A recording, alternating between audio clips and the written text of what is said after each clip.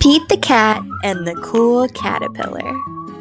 Written and illustrated by James Dean. Pete is on a bug safari.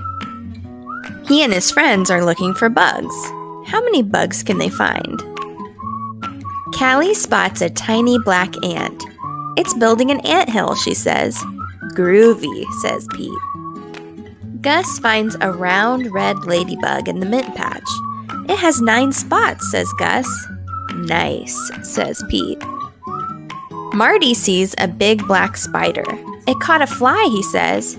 Neat, says Pete. Pete finds a green caterpillar in the flower pot. I will bring it home to show mom and dad, he says. Mom helps Pete build a home for the caterpillar. They use a big jar. Dad puts lots of little holes in the lid for air. Pete puts the caterpillar in the jar. Pete puts some leaves in the jar for the caterpillar to eat. He adds a twig for it to crawl on. Good night, Pete, says Mom. Good night, Pete, says Dad. Good night, caterpillar, says Pete. When Pete wakes up, the caterpillar is gone. Where did it go? Did it run away? It is not gone, says Mom. It did not run away, says Dad. Look, they say.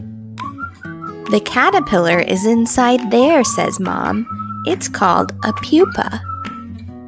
Will it stay in there forever? Pete asks. No, says Dad. The caterpillar is changing into something new. What will it become? Pete asks.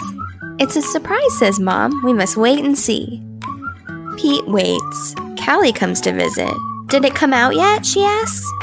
Not yet, says Pete. Pete waits some more. Gus comes to visit. Did it come out yet? he asks. Not yet, says Pete.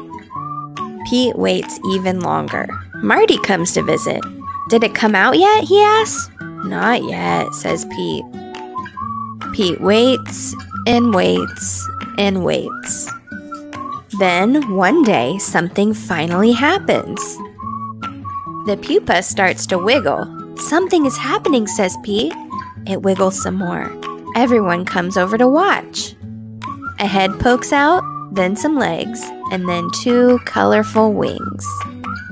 The caterpillar changed into a beautiful butterfly. Wow, says Pete. The butterfly slowly moves its wings up and down. It is ready to fly. They take the jar to the park. Time to say goodbye, says Dad. Pete opens the lid of the jar. The butterfly flaps its wings. It flutters out of the jar and lands on Pete's nose. That tickles, he says. Then the butterfly flies up into the sky. Bye bye, butterfly, everyone says.